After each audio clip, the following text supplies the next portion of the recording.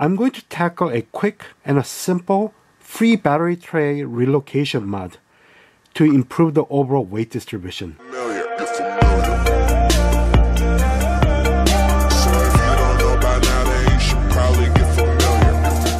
Welcome back to BigSung Hobbies. If you're new to my channel, a big welcome. Here you'll find RC reviews, upgrades and mods, and run videos related to RCs.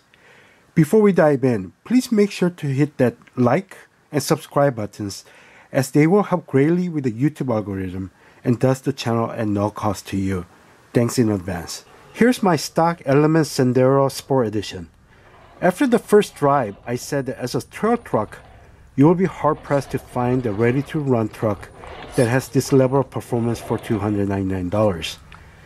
I would recommend a smaller 3S LiPo battery and run it until something breaks. And as a crawler, I stated that I did see some areas that require some immediate attention, namely the ESC, weight distribution, and lower center of gravity. Due to the forward motor mount setup of Stealth XFS transmission, the battery tray is mounted at the aft of the transmission, which I'm not a big fan of as it hurts the overall weight distribution. With the battery, Element Sendero Sport Edition has a 54% front and 46% rear weight distribution with a total weight of 2,413 grams. Today, I'm going to tackle a quick and a simple free battery tray relocation mod to improve the overall weight distribution. Basically, we will relocate the battery tray from the rear to the front. Install is very simple and quick. Remove the two screws holding the battery tray.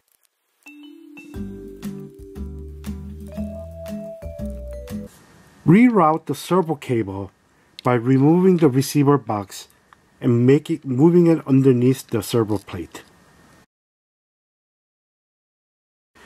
Remove the battery strap and reinstall it.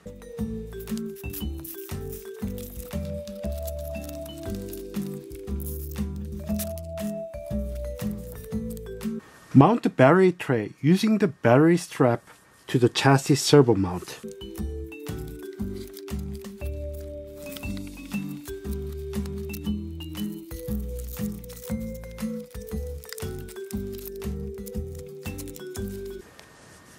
Using the screw hole on the battery tray, I drilled using a 330 seconds drill bit.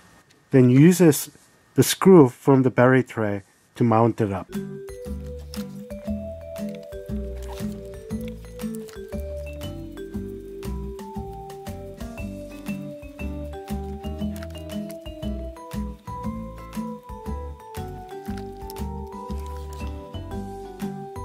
Using the strap and one uh, screw for the battery tray, it's not going to move. Here's the battery relocated to the front. With this simple mod, Element Sendero SE now has 59% front and 41% rear weight distribution. I was able to change the weight bias simply by relocating the battery tray without adding any additional weight, getting one step closer to the ideal weight distribution of 60-40. Please note that this mod improves the overall weight distribution, but it does negatively impact the CG as the battery now sits higher. However, I'll take the hit on the CG to improve the weight distribution. Hope you found the information useful, and don't forget to let me know what you think in the comments. Please like and subscribe and hit the notification bell to be notified of future videos. Thanks for watching Sung Hobbies.